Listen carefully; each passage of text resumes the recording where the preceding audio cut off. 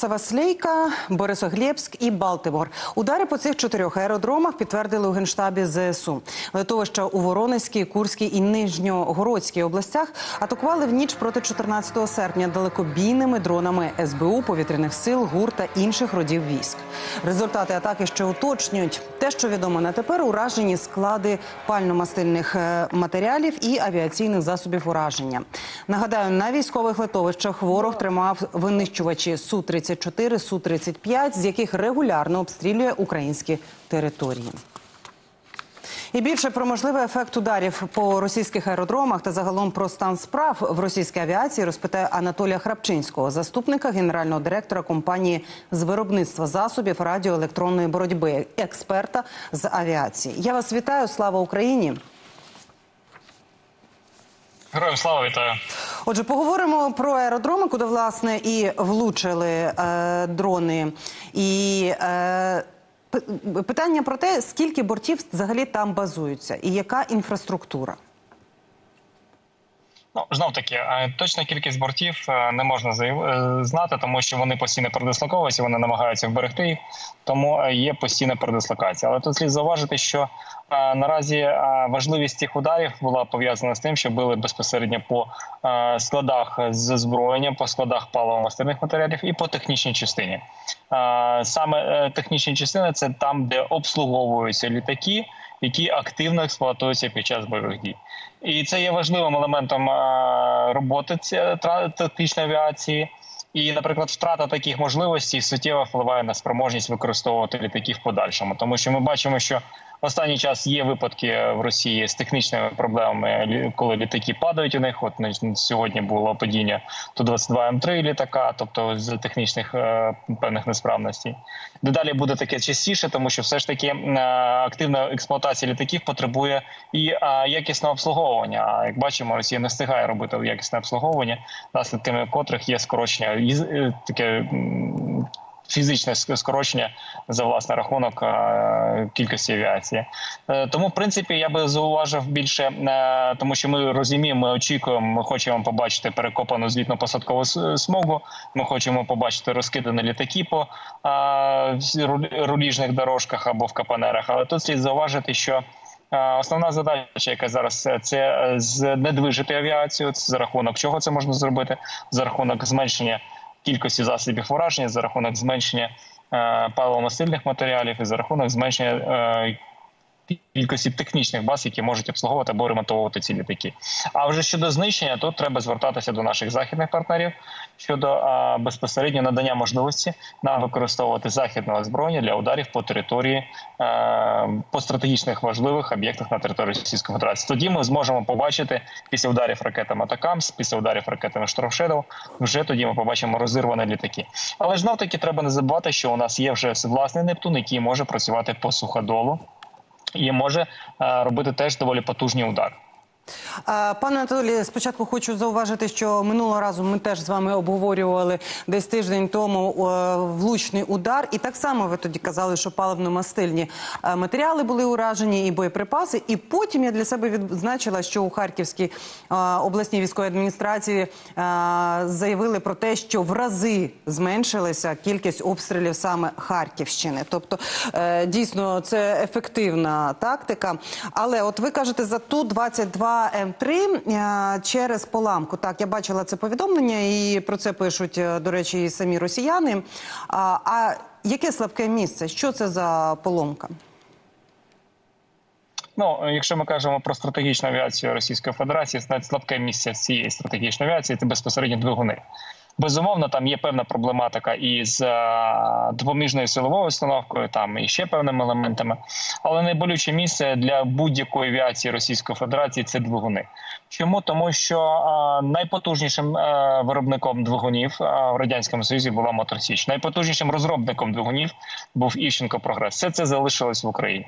А те, що ми зараз бачимо, це те, що Росія не може не будувати, не ремонтувати е, якісно ремонтувати двигуни, які є, наприклад, на стратегічній авіації. Ті ж саме НК 25 НК 32 які стоять на ту 160 х і це призводить до того, що літаки втрачають е, ну починається певна проблематика з двигунами, займання двигунів, і е, яке послідовно знищує літак. В принципі, ця проблема давня, і е, слід зауважити, що Росія її не може ніяк вирішити. Ми бачимо, що навіть е, цивільна авіація залишається без двигунів, тому що, наприклад, ті ж саме сухой суперджет. Потім е, МС-21, які планувалися імплементація двигунів Пермського моторного заводу, вони зараз ускладнені, тому що є відсутність можливість їх е, імплементувати або будувати якісь двигуни, які б могли би якісно замінити те, що було раніше на цих літаках. А на цих літаках слід зауважити, що були, наприклад, е, двигуні французько-російські, де французького було все, а російське тільки збирання. Якщо ми кажемо про МС-21, то нам взагалі планувалося ставити американські двигуни. Ну і власне за, за рахунок цього ми побачимо ще далі падіння цих літаків. Згадайте, сухой суперджет вже два рази була одне повністю авіатроща, і один була предпосилка, яка повлекла за собою екстрену посадку цього літака. Е, Бачу на екрані. Вивели те, що зараз е, оголошена тривога е, по Україні на пів... е, в регіонах на півночі і на сході. Тож перейдіть в укриття. Е, Є загроза балістики. Тобто е, про виробництво взагалі не йдеться літаків. От якщо ви кажете, що вони були залежні е, і від Франції, і від нас, е, чи все ж таки вони можуть виробляти свої літаки? Яку кількість і, зокрема, винищувачі? Ну, якщо ми кажемо про стратегічну авіацію, то стратегічні літаки вони взагалі не можуть виробляти. Те, що вони показували, буцімто 3 ту 160 це ремонт і модернізація старого авіапарку, дещо модернізація щодо там е, внутрішнього оснащення е, безпосередньо е, літаків. Е, Якщо ми кажемо про тактичну авіацію, тут слід зауважити, що Росія насправді може ще будувати і. Ну так близько шести літаків е, на рік вони можуть випустити е, літаків сухого, там, наприклад, там е, ті ж саме су 30 або су 34 або су 35 Знов таки, ми бачимо інформацію, що Росія Росіяни ну, публікують інформацію про передачу буцімто щойно побудованих літаків. Але тут слід зауважити, що це контракти, які були підписані Міноборони з сухим ще в 17-18 роках. Тобто тут є розуміння, що не встигають вони виробляти ту кількість літаків, які потребує, наприклад, Міноборони Російської Федерації, тому що кількість знищених літаків зараз е, доволі багата з боку сил оборони, е, які знищили російських літаків, і знов таки тут знов таки треба зауважити, що Кількість знищених літаків сучасних, так би мовити, сучасних російських літаків на кшталт су 34 су 35 значно більше е, навіть ніж кількість знищених е, старих радянських літаків. Тобто це показує про е, слабу технологічну складову цих літаків. Тому, в принципі, тут так вони можуть їх виготовляти. Так, це невелика кількість. Безумовно, Україна знищена набагато більше. Але все одно це є загроза, і тому тут треба дедалі більше і влучно прицільно стріляти вже безпосередньо по виробництвам цих літаків. І головне це знищувати інтелектуальну власність, тобто засоби носії інформації, де можна буде побачити робочу конструкторську документацію, карти складання певних елементів. Це точно вплине суттєво вплине на можливості Росії в подальшому будувати літаки. А чи невідомо вам, от виробництво, зокрема, е, чи модифікували вони його, тобто е, саме місце, чи переводили вони його в підземелля? Насправді, а якщо казати за останній час, то Росія активно розбудовувала певні е, заводи авіаційні для того, щоб е, побудувала навіть нові е, цеха для того, щоб збільшити спроможності виробництва. Але як бачимо, тобто це не було ніяк побудови там, наприклад, підземних якихось ангарів. Росія взагалі не готувалася до того, що будуть удари по території Російської Федерації, тому що Росія активно з 2003 року масштабувала виробництво наступальної зброї. Але як бачимо, засобів протиповітряної оборони, достатньо засобів, наприклад, захистити свої аеродроми. Вони якісно не можуть. Хоча на аеродромі Саласлейки е, стоїть система протиповітряної оборони доволі потужна. Але як бачимо, е, це не допомогло їм е, врятуватися від наших безпілотників.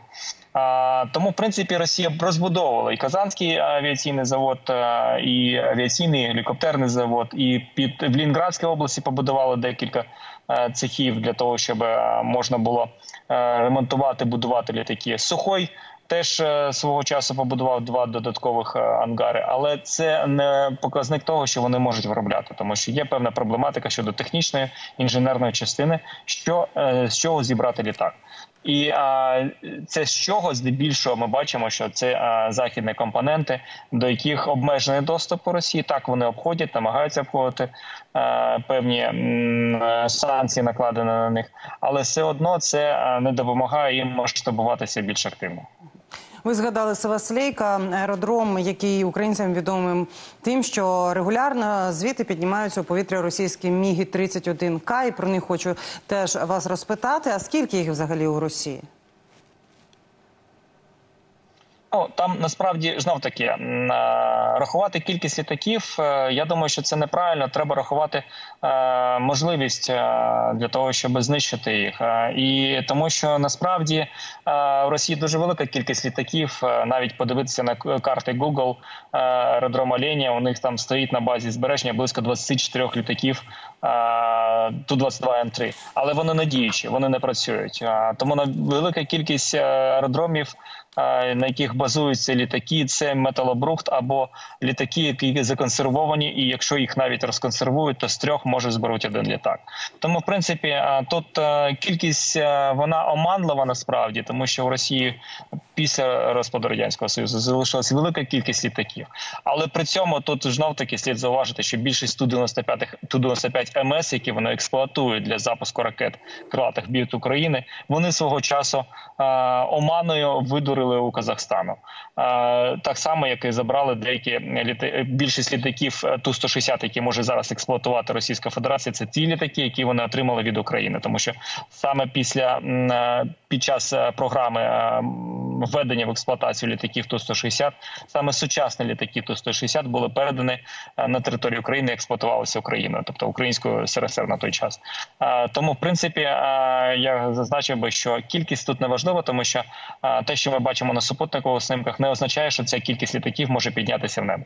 Кількість систем ППО теж не важлива російських, судячи з результатами. бачимо, ну знов таки щодо систем протиповітряної оборони. Давайте повернемось до того, що ми бачимо певну проблематику у них з панцирами та система, яка передбачала протидію безпілотників. Але е, тут. Е, Треба зрозуміти, що вона не працює так, як вони планували. Ми бачили е, спроби поставити ці е, системи е, на дахи будівель, і це не пов'язано з тим, що вона там, наприклад, в густонаселеному е, місці розташована. Ми бачили, як вони там в Підмосков'ї ставили ці ці ж саме панцири на такі металеві вежі для того, щоб у, у- збільшити якість е, виявлення цими системами. Але це не допомагало.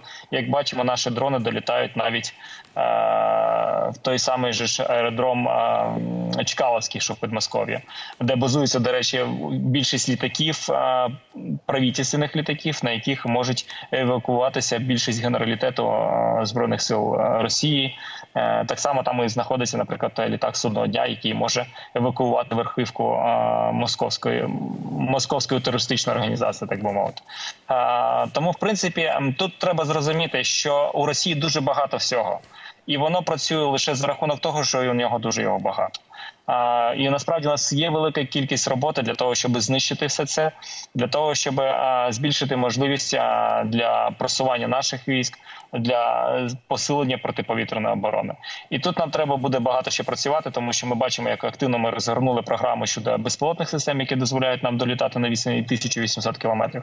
Тут нам треба працювати і над ракетною програмою. До речі, ракетна програма тут маючи Южмаш, який свого часу обслуговував більшість пускових установок з ядерним озброєнням по всьому по всьому радянському союзу. Пане Анатолію, я вже знаю, як то яку- кажуть, грішно.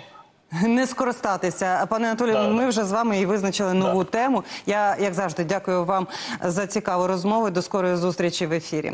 Це був Анатолій е, Храпчинський, заступник генерального директора компанії з виробництва засобів радіоелектронної боротьби, експерт з авіації.